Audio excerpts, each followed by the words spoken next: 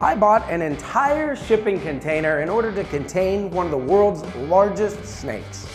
If we're gonna complete this build on time, we're definitely gonna have to think outside the box. And this is a really big box.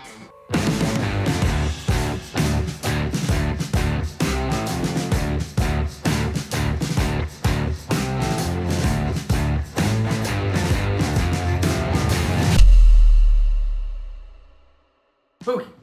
Hey! Pookie, who's at the door? Hey, Pookie. What did you get?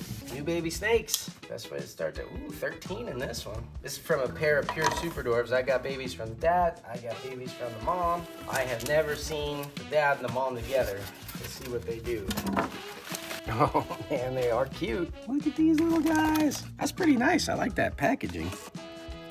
So the parents of these were siblings. They're line breeding to see what genetics had going on. So they're just pure super dwarf. Look at that pattern. That's crazy. Look at the banding on it. Huge, thick black borders. These are sick. Ooh, smell that? Smells like a pure super dwarf. Well, I don't know that we'll take them out. They look kind of juicy. But there's the size for you on a pair of proven breeders. I haven't seen these ones yet. They're raised and bred by somebody else. Pretty cool. So those are mom and dad. There's the babies. All right, last box. Oh yeah. These are some Knick Connects from Andrew Acevedo. Beautiful tigers. Look at the crazy banding on that one. That's nice. Like an Anery Platinum Tiger. Platy Sun Tiger. Nice normals. You can see the, the cross influences in those ones as well. There you go. You can have fun with those ones, Joe. All right, let's get today started. We have this cool idea that we already talked about on the vlog. Creates a lot of issues. First of all, that container is huge. Secondly, it's really heavy. I love the idea of having it upstairs here because it frees up all that space downstairs. But to get it in here, it's eight feet by what, eight and a half tall. So even if we like cut pieces together, you know, our doorways are only just over seven feet tall. We either are gonna have to cut the building or cut the container to get it in here. The building would be a nightmare to cut, but that's the type of work I'm more familiar with is like, you know, building and framing and stuff like that. Welding is a much more challenging issue for us. So if I'm gonna like kind of crappy chic this sucker together, I gotta figure out how to avoid welding as much as possible, but I still need, obviously, this thing to end up as a sturdy cage if I'm cutting it all to pieces and putting it back in here because it's gonna house one of the world one of the world's largest snakes. Watch your step there. I don't know how to do it. I don't know how to do it.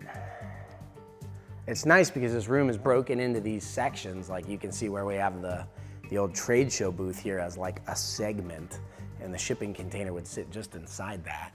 But structurally, how tall is this?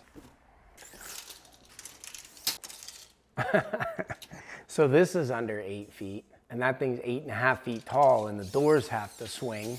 So you have to consider where they'll swing out. This is like, these things are bulky. You know what though? Like, this is not the same as this. This is a super old post. This is obviously like trim. I mean, I've climbed up there a couple of times. It doesn't look like anything but like The top is open, right? Beams, yeah.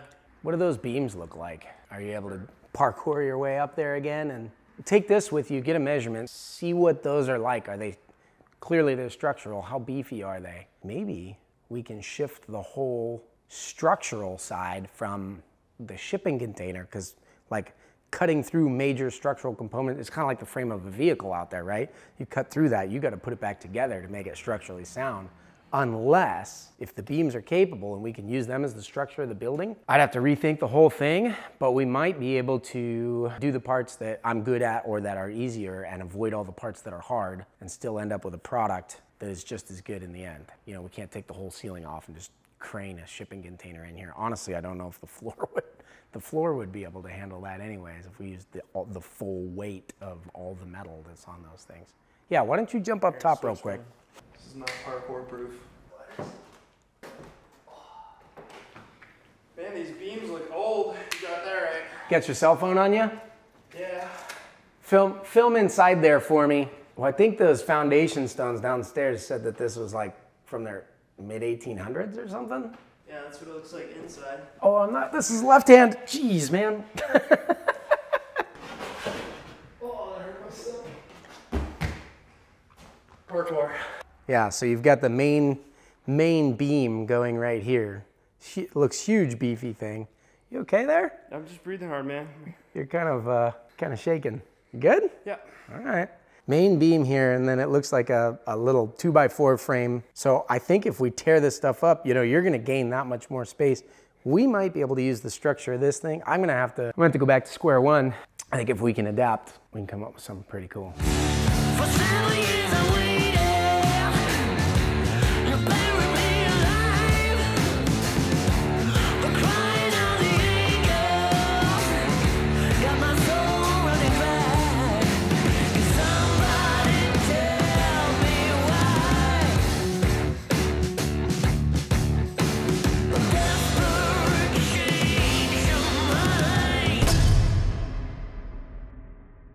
Right, well, we got a big mess and we got some open beams here. These are huge. These are huge. They look really sturdy. That's pretty cool. Um, honestly, I have no idea if you were going for this rustic theme, why you would wrap the original awesome beams. Look at this sucker. This one is huge. Like this is just a, a tree. Like how big is that circular saw that milled this thing down? You know what I'm saying? So yeah, it's massive. It's it's super rustic, but I I like that look with between the wood and the metal. So I think what we're gonna do is tear all this stuff down, rip off the rest of it. This was a ton of work. You know what I mean? I've already got all these pieces out just to see if it'll work. I think it will work. I might need some help. Fortunately, we have some people willing to help. That's what's awesome about you guys uh, with our YouTube and Patreon community. But I think if I can get some help to kind of do some of this work and I can plan out what we're gonna do with that container. I mean, the, the cool thing is we can do it. We, this would actually be increasing the size of it a little bit because you guys see where the blue tape was? We had already mapped the cage out, but you're like a few feet inside of here, a few feet inside of here, and then the ceiling would actually be lower as well. So if we take the pieces we need from the container so that it still has that kind of container build look and everything that we're going for, but we hybridize the structure with the existing structure of the building, we will increase the size a little bit, which will be especially good for our Jeep, right? That Jeep is big. It's like six feet across and the container's only eight feet. By adding a couple more feet, that's gonna be awesome.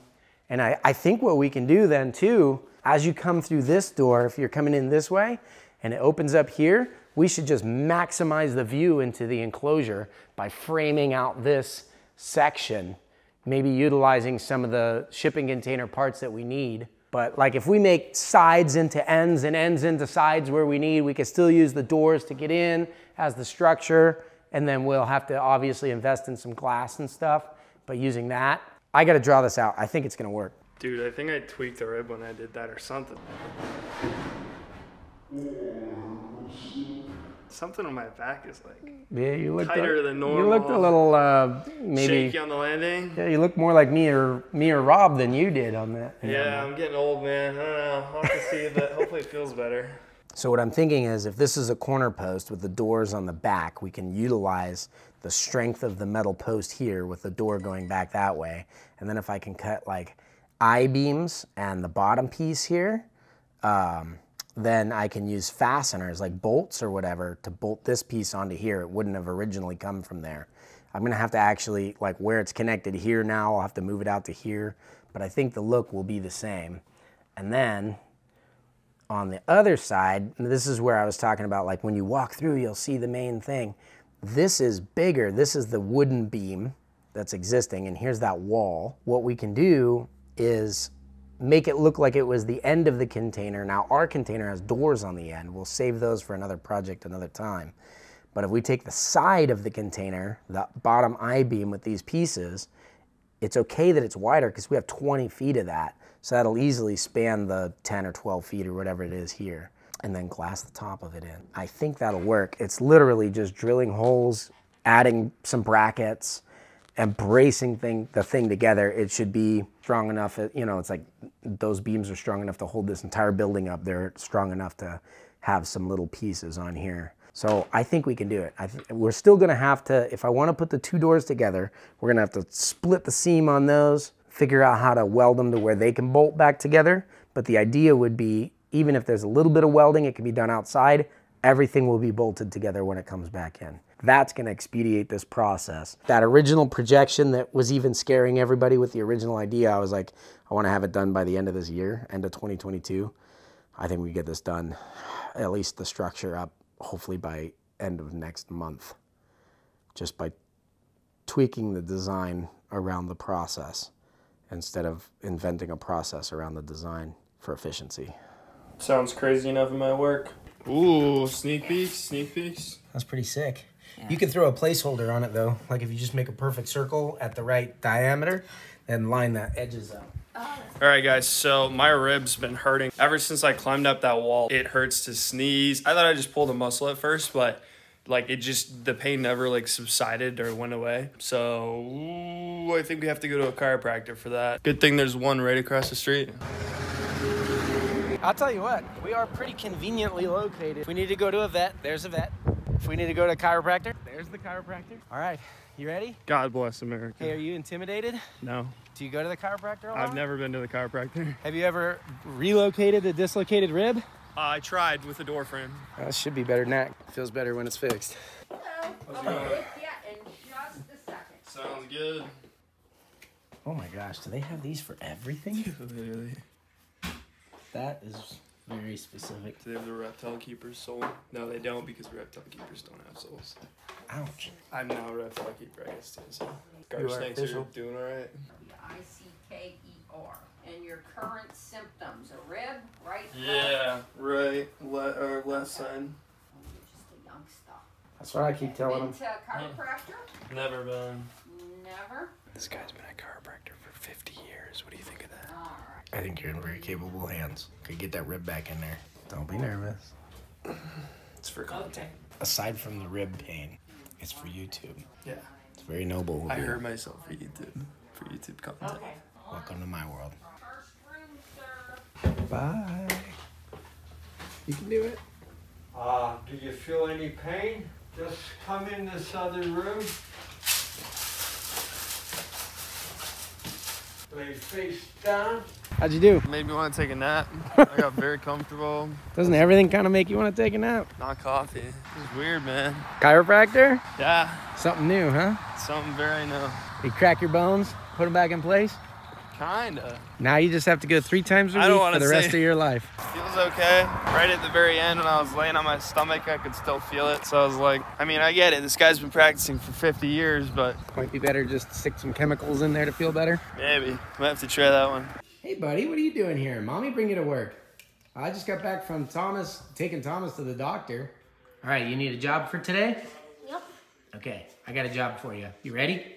Mhm. We want to take all these black screws out and put them in this can.